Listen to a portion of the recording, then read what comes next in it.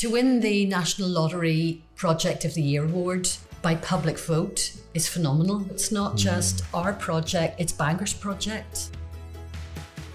We started off as a festival in Belfast. We were part of the regeneration of Belfast and, and that kind of new shared identity for Northern Ireland that the arts sector were trying to create. But we lived in Bangor, I'm from Bangor, so we moved the festival here in 2013.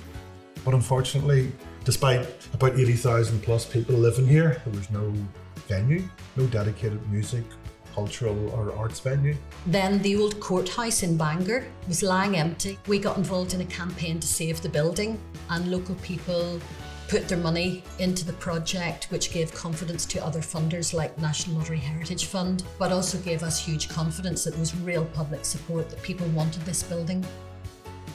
There's been talk of refurbishment in Bangor for years, and like there's been nothing, nothing done about it, you know. Um, so to see somewhere like this pop up is just fantastic. We need more things like this because Bangor's got so much to offer, but people just don't recognise that yet.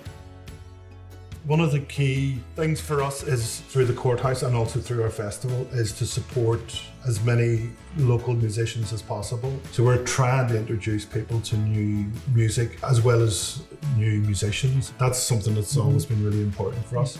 It's very much a community venue and that covers music, film, comedy, theatre. We have a 72 strong community choir that rehearse here every week.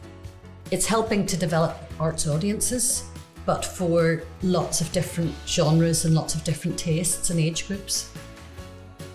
I've recently taken on the open house choir, and that's a very much a community choir. And you can see the connections people are getting through the choir.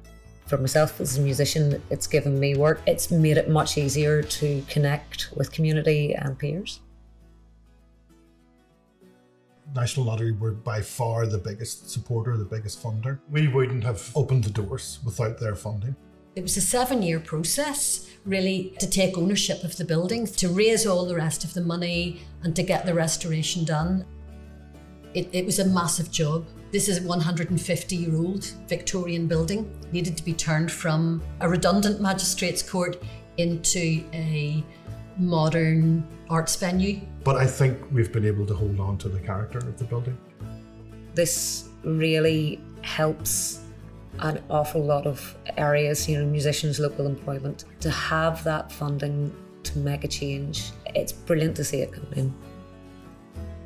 Local people are really proud of the fact that we've managed to, you know, get the courthouse over the line and, and hopefully help other projects to do something similar. We hope that this is the trigger for further regeneration on Bangor seafront. I think it's really important to put places like this on the map. It's given us a venue where we feel like we're at home.